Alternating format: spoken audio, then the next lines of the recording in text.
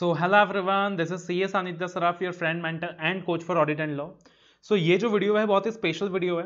और ये जो वीडियो है ये वीडियो ना केवल सी ए फाइनल स्टूडेंट्स के लिए इंपॉर्टेंट है बल्कि प्रैक्टिसिंग चार्टर्ड अकाउंटेंट्स के लिए भी इंपॉर्टेंट है। सी ए इंटर स्टूडेंट्स के लिए इंपॉर्टेंट है सी ए फाउंडेशन स्टूडेंट्स के लिए इंपॉर्टेंट है।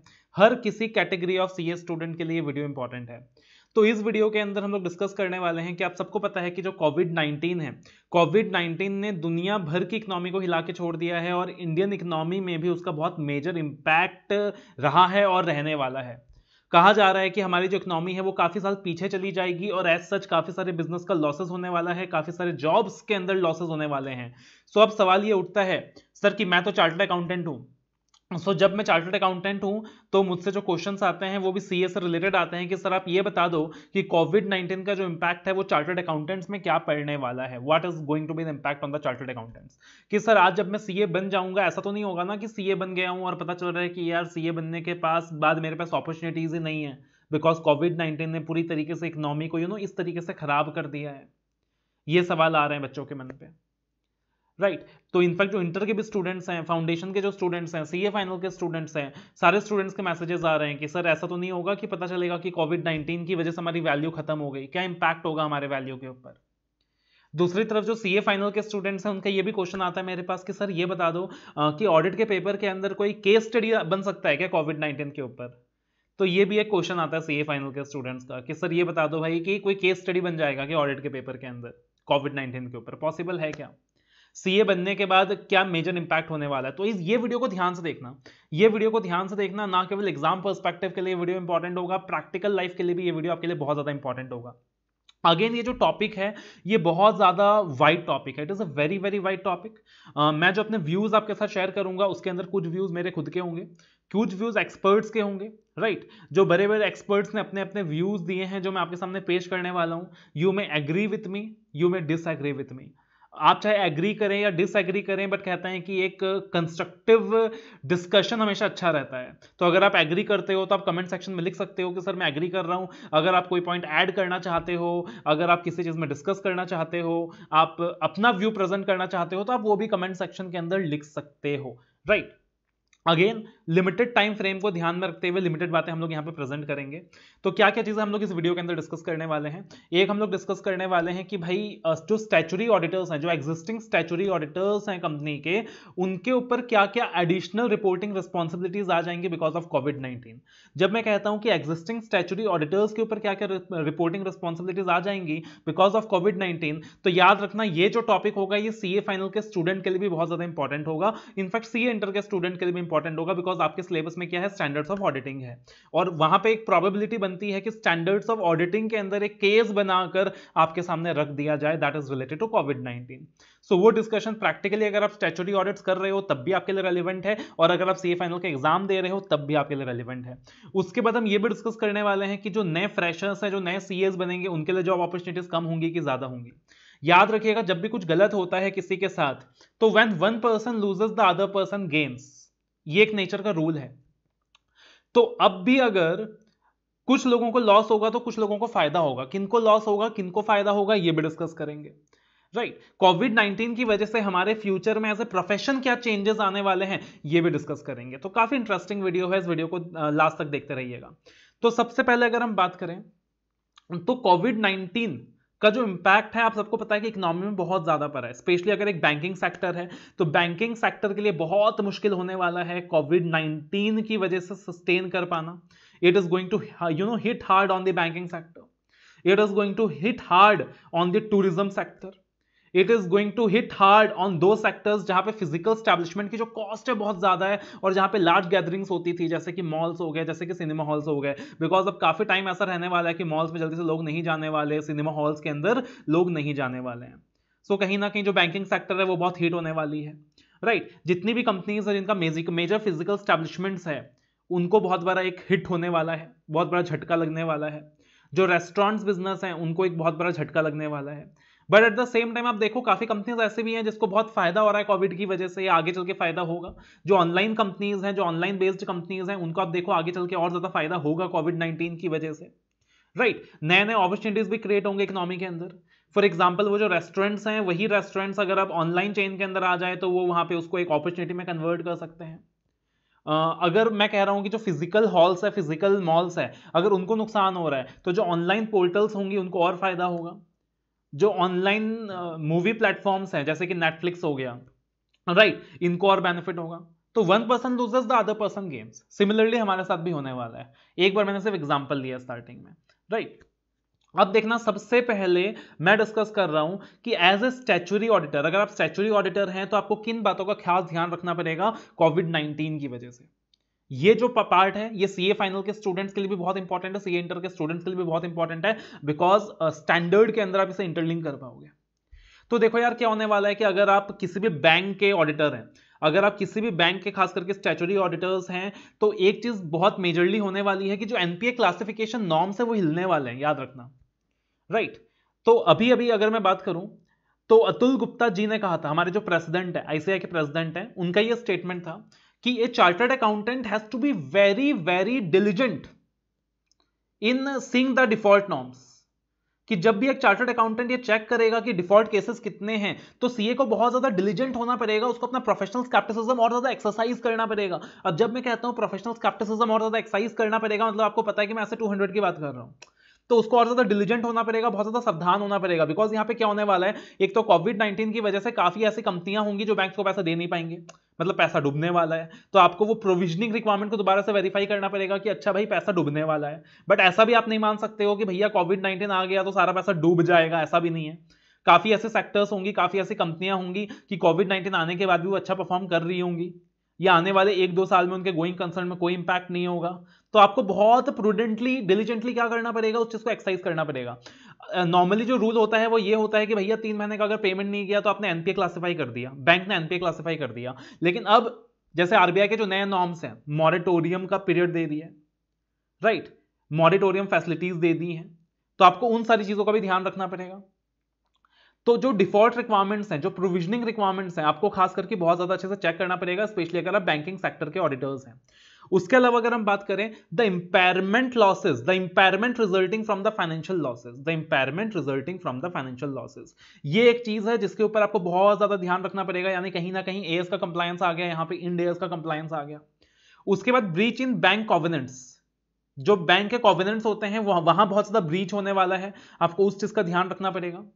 Right right. उसके बाद सबसे इंपॉर्टेंट पॉइंट जो आता है impact on companies going concern आपको रेड फ्लैग्स आइडेंटिफाई करने होंगे एज ऑडिटर रेड फ्लैग का मतलब क्या होता है? खतरे की घंटी कि भैया इस कंपनी का गोइंग कंसर्न खतरे में आ सकता है. यानी ऐसे 570 जो हमारा स्टैंडर्ड है गोइंग कंसर्न के ऊपर, उसका इंपॉर्टेंस बहुत ज़्यादा भर जाता है प्रैक्टिकल लाइफ के अंदर भी और उसका इंपॉर्टेंस बहुत ज़्यादा भर जाता है आपके सीए फाइनल एग्ज़ाम्स के लिए भी सीए इंटर के एग्ज़ाम्स के लिए भी ऐसे फाइव गोइंग कंसर्न आपको रेड फ्लैग्स आइडेंटिफाई करना पड़ेगा, देखना पड़ेगा कि कंपनी के गोइंग कंसर्न में इसकी वजह से क्या इंपैक्ट जा रहा है?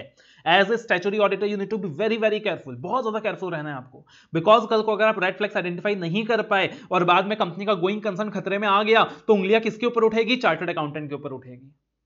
So you have to be very very diligent उसके अलावा, ऐसा भी हो सकता है कि कंपनी का गोइंग कंसर्न तो खतरे में नहीं है बट कोविड 19 की वजह से एक ऐसी अनसर्टेनिटी आई है, एक ऐसा इंपैक्ट आया है जिसको आप की ऑडिट मैटर पैरा के अंदर रिपोर्ट करना चाहते हैं, ऐसे सेवन ज़ीरो वन तो ऐसे 570 का इंप्लीकेशन बहुत ज़्यादा देखने को मिलेगा। ऐसे सेवन सेवन ज़ीरो वन का इंप्लीकेशन बहुत ज़्यादा देखने को मिलेगा। Right right. तो ये दो बहुत मेजर स्टैंडर्ड्स हैं जिसका कंप्लायंस आपको ध्यान रखना पड़ेगा। ऐसे 570 एंड ऐसे 701 उसके अलावा जैसे कि मैंने बताया इंपेयरमेंट लॉसेस तो वो जो एस इंडिया का पार्ट है, वो आपको ध्यान रखना पड़ेगा। प्लस आईसीआई भी कोविड 19 को लेकर रिपोर्टिंग रिक्वायरमेंट्स के अंदर गाइडेंस लेकर आने वाला है, उसके कंप्लायंसेस के बारे में आपको ध्यान रखना पड़ेगा। तो as a statutory auditors you have to very very careful and you have to ensure compliance of all this things if you are a CS student याद रखना वो एक केस दे सकता है कि एक कंपनी थी, बहुत अच्छा परफॉर्म कर रही थी, अचानक से क्या हुआ कोविड नाइनटीन आउटबर्स्ट देश के अंदर आ गया, उसके सारे स्टैब्लिशमेंट्स बंद हैं और यू नो कंपनी का इतना सैलरी जा रहा है कंपनी लगातार लॉसेस इंकर कर रही है और कंपनी ने उस बारे में अपने बैलेंस शीट में कहीं नहीं बताया है डिस्क्लोजर्स कहीं नहीं दिए हैं। तो आपको समझना होगा कि हाँ भैया, यहाँ पे गोइंग कंसर्न में खतरा है राइट right. तो अकॉर्डिंगली ये जो सिनेरियो है, ये स्टैचुरी ऑडिटर्स के लिए भी काफ़ी ज़्यादा इंपॉर्टेंट है और यस सीए फाइनल एग्ज़ाम्स में भी इसके ऊपर क्वेश्चन बन सकता है तो ये तो हो गया मेरा, एक तरीके से मैं कह सकता हूँ कि टेक्निकल बात, जो सीए फाइनल स्टूडेंट्स के लिए रेलिवेंट है और प्रैक्टिकली अगर आप स्टैचुरी ऑडिट कर रहे हो तो आपके लिए रेलिवेंट है उसके अलावा अगर हम बात करें तो अब जो सवाल उठता है कि कोविड 19 की वजह से what is going to be the change क्या चेंज आने वाला है? सीए uh, बनने के बाद आपको जॉब्स मिलने वाली हैं कि नहीं? जो एग्जिस्टिंग प्रैक्टिसिंग चार्टर्ड अकाउंटेंट्स हैं उनको डरने की ज़रूरत है या डरने की ज़रूरत नहीं है? तो अगेन ये कंसर्न आता है। तो देखो यार हर चीज़ के कुछ नेगेटिव चेंजेस आते हैं। अब कोविड नाइन्टीन जब इतना बड़ा पैंडेमिक आया है पूरे देश के अंदर पूरे दुनिया के अंदर तो यस थोड़ी बहुत मार तो हमें भी झेलनी होगी that I have to accept negative changes आएँगे। बट वो शॉर्ट टर्म होगा वो लॉन्ग टर्म नहीं होगा याद रखना। तो आपको मैं बता रहा हूँ कौन सा नेगेटिव चेंजेस होंगे, कौन सी मार हमें झेलनी होगी और साथ ही हमारे लिए क्या क्या अपॉर्चुनिटीज़ नहीं क्रिएट होंगी। बिकॉज़ जब भी अपने को कभी झटका लगता है ना, याद रखना अगर आपको सौ जगह से झटका लग रहा है ना तो एक नई अपॉर्चुनिटी भी क्रिएट होगी आपके लिए। जैसे मैं अगर नेगेटिव चेंजेस की बात बताऊँ यस फ्यू चार्टर्ड अकाउंटेंट जो जॉब कर रहे हैं, उनको कहीं ना कहीं अपना जॉब लूज करना पड़ेगा, या हो सकता है उनको सैलरी कम मिले या कुछ टाइम तक ना मिले। हो सकता है पॉसिबिलिटी है, आपको तैयार रहना होगा। उसके बाद अगर मैं बात करूँ तो जो सीओ जो चार्टर्ड अकाउंटेंट्स प्रैक्टिस कर रहे हैं, आपको भी हो सकता है कि अपना फ़ीस कुछ टाइम के लिए कम करना पड़ जाए या फिर या फिर आपको फ़ीस ना मिले। Again that is a possibility अब डिपेंड करता है कि आप कौन सा सेक्टर को ऑडिट कर रहे हैं। अगर आप उन सेक्टर्स को ऑडिट कर रहे हैं that is hit very hard by corona virus तो ऑब्वियस चीज़ है कि वहाँ पे कहीं ना कहीं देखो यार, वो भी जल्दी से अपने ऑडिटर्स को नहीं छोड़ेंगे। Because again they need auditors from the time the company is incorporated till the time the company is liquidated they need the auditors तो भाई वो भी तुमको जल्दी से नहीं छोड़ेंगे और तुम भी एक बड़े क्लाइंट को जल्दी से छोड़ना नहीं चाहोगे तो कहीं ना कहीं फ़ीस में कॉम्प्रोमाइज करना पड़ सकता है। कुछ क्लाइंट्स को आपको लूज भी करना पड़ेगा। तो यहाँ पे आप बहुत ज़्यादा हार्ड हिट होने वाले हैं। लेकिन घबराने की ज़रूरत नहीं है, डरने की ज़रूरत नहीं है। अगर आप प्रिपेयर्ड हैं पॉजिटिव माइंडसेट के साथ तो आपके पास नए एवेन्यूज भी आएँगे। जैसे फॉर एग्जांपल अगर कंपनियाँ बंद हो रही है और अगर कंपनी बंद होने की वजह से आपके आपसे अपॉर्चुनिटी छीन ली जा रही है तो वही कंपनियाँ लिक्विडेशन में भी जाएँगी, वही कंपनियों का एमलगमेशन भी होगा, वही कंपनीज़ का रिस्ट्रक्चरिंग भी होगा, वही कंपनीज़ का इंसॉल्वेंसी कोड के अंदर रिजोल्यूशन प्लान भी बनेगा और वहाँ हर जगह आपको अपॉर्चुनिटी मिल सकती है एज ए चार्टर्ड अकाउंटेंट आपको उसके लिए तैयार रहना होगा। आपको अपनी नॉलेज इन फील्ड्स के अंदर इंक्रीज कर लेनी चाहिए। Business valuation amalgamation restructurings IBC code इन सब के अंदर आपका रोल इंक्रीज होने वाला है। तो ये जो बात है, खास करके जो प्रैक्टिसिंग चार्टर्ड अकाउंटेंट्स हैं, उनके लिए काफ़ी ज़्यादा रेलिवेंट है कि भाई आपका जो रोल है, यहाँ पे इंक्रीज हो सकता है। Right right. दूसरी चीज़ अगर हम बात करें तो याद रखना कि फ़िज़िकल स्टैब्लिशमेंट्स अगर खत्म हो रही है वहाँ पे तो जो ऑनलाइन बिजनेसेस हैं, वो बूस्ट हो रही है। और अब सब कुछ ऑनलाइन हो रहा है धीरे धीरे अब सब कुछ ऑनलाइन हो रहा है। पहले क्या होता था यार कि अगर एक भी फ़ाइल मेरे को लेना है तो मुझे क्लाइंट के ऑफ़िस जाना है। अगर क्लाइंट मेरे को एक भी डॉक्यूमेंट सबमिट करना है तो वो फ़ाइल क्या कर रहा है, मेरे ऑफ़िस तक पहुँचा रहा है। अब सब कुछ ऑनलाइन होने वाला है। Everything is going to be digital जैसे कि अभी मैं बात करूँ तो अमरजीत चोपड़ा सर, जो कि पास प्रेसिडेंट रह चुके हैं इंस्टीट्यूट के बहुत ही ज़्यादा नॉलेजेबल पर्सन है, उन्होंने एक बात कही राइट right. उन्होंने क्या कहा कि अब इंस्टीट्यूट वर्चुअल ऑफ़िस के बारे में सोच रहा है। सुन के बहुत खुशी हुई, मज़ा आया। वर्चुअल ऑफ़िस के बारे में सोच रहा है इंस्टीट्यूट राइट वर्चुअल ऑफ़िस क्या हो गया? कि भाई अभी अभी तो क्या होता है कि आपको फ़िज़िकल स्टैब्लिशमेंट चाहिए होती है। वर्चुअल ऑफ़िस मतलब कि एक सीए को फ़िज़िकल स्टैब्लिशमेंट नहीं चाहिएगा और बिना फ़िज़िकल स्टैब्लिशमेंट के भी वो काम कर पाएगा। वो घर बैठे बैठे भी काम कर पाएगा, वो सब कुछ ऑनलाइन कर पाएगा। फ़िज़िकल ऑफ़िस की ज़रूरत नहीं है फ़िज़िकल स्टाफ की ज़रूरत नहीं है। हर कोई बैठे बैठे ऑनलाइन काम कर लो भैया। अब सोच के देखो, अगर कोविड 19 नहीं आता तो ये कभी पॉसिबल हो पाता, नहीं हो पाता। बट अब ये चीज़ हो सकता है कि पॉसिबल बन जाए कि भविष्य में आपको वर्चुअल ऑफ़िस दिखाई दे सीए के लिए। और जब मैं वर्चुअल ऑफ़िस की बात करता हूँ तो याद रखना, अब जितने भी नए लोग हो, जो भी सीए बनने वाले हो, आपके लिए अपॉर्चुनिटी क्रिएट हो जाती है बिकॉज़ कहीं ना कहीं जो एक्जिस्टिंग चार्टर्स है, जब आप उनको कहोगे कि फ़िज़िकल से ऑनलाइन मोड में शिफ्ट करना है तो एक हेजिटेशन होगा because there is a resistance to change but आपके लिए वो चीज़ बहुत ज़्यादा आसान है। तो एक वर्चुअल ऑफ़िस का कॉन्सेप्ट आने वाला है फ्यूचर के अंदर। ऐसी बातचीत चल रही है because of this covid nineteen तो वह अगेन आपके लिए अपॉर्चुनिटी बन के आएगा, जहाँ पे आप लोअर कॉस्ट के अंदर सारा काम कर पाओगे। मतलब वहाँ पे फ़ीस कम हो रही है तो आपको कॉस्ट भी कम हो रहा है और अपॉर्चुनिटीज़ भी इंक्रीज हो सकती है वहाँ पे अगर आप वर्चुअल ऑफ़िस मोड से काम करते हो। अगर कुछ क्लाइंट्स आप लूज कर रहे हो तो कुछ क्लाइंट्स को आप गेन भी करोगे। और साथ ही साथ आप चार्टर्ड हो यार, आपने सब कुछ किया है, आपने, आपको सिर्फ़ ऑडिट टैक्सेशन का नॉलेज नहीं है। आप as a business catalyst as a business consultant भी तो काम कर सकते हो। तो अब जब नई नई कंपनियाँ अपने बिज़नेस मॉडल को चेंज करने की कोशिश करेंगी बिकॉज़ ऑफ़ कोविड 19 काफ़ी ऐसे स्टैब्लिशमेंट्स हैं जो अपने बिज़नेस मॉडल को चेंज करने की कोशिश करेंगी, अपने बिज़नेस मॉडल के अंदर रिकंस्ट्रक्शन करने की कोशिश करेंगी, नए बिजनेसेस भी आएँगे। So in that very situation you can also act as a business catalyst और जब भी ये इंडस्ट्रीज़ किसी बिज़नेस कैटलिस्ट को ढूंढेगा जो उनको एक सही दिशा दिखा दे तो अगेन चार्टर्ड अकाउंटेंट का नाम सबसे पहले आएगा because you are the one who is equipped with all the knowledge so so, कहीं ना कहीं आपको वहाँ भी फ़ायदा होने वाला है राइट कहीं ना कहीं आपको वहाँ भी फ़ायदा होने वाला है। तो यार ऐसा नहीं है कि कोविड नाइनटीन हो गया तो मतलब ठीक है कोविड नाइनटीन आ गया तो सब कुछ खत्म हो जाएगा हमारे लिए अपॉर्चुनिटीज़ खत्म हो जाएँगी। Yes covid nineteen has come it is going to hit the economy hard every is going to face the crunch of that but कहीं ना कहीं इस मामले में हम प्रोफेशनल्स थोड़े से लकी होते हैं कि यार एक डॉक्टर है तो उसकी रिक्वायरमेंट कभी भी खत्म नहीं हो सकती चाहे कुछ भी हो जाए। जब समय पूरा आता आता है तो इंसान डॉक्टर के पास जाता है। उसी तरीके से जब समय पूरा आता है तो इंसान चार्टर्ड अकाउंटेंट्स के पास और आता है कि भाई गवर्नमेंट का नोटिस आ गया टैक्स पे करना है, वो सीए के पास आएगा। पहले वो टैक्स सेव कर रहा था तो इस बुरे सिचुएशन के अंदर वो और भी ज़्यादा टैक्स सेव करना चाहेगा अगेन वो सीए के पास आएगा। उसको बिज़नेस के अंदर गाइडेंस चाहिए, वो सीए के पास आएगा। गवर्नमेंट भी हमारी तरफ़ नज़रें झुकाकर देखेंगी कि भैया एग्जिस्टिंग बिजनेसेस में क्या चल रहा है, हमें रिपोर्ट कर दो। किस कंपनी का गोइंग कंसर्न इंपैक्ट आ रहा है, हमें रिपोर्ट कर दो। तो कहीं ना कहीं हमारे पास एक अपॉर्चुनिटी भी क्रिएट होगी। तो ऐसा नहीं है कि we are only there to lose we are going to gain on certain aspects as well provided that you have to be you know ready for this opportunities ठीक है?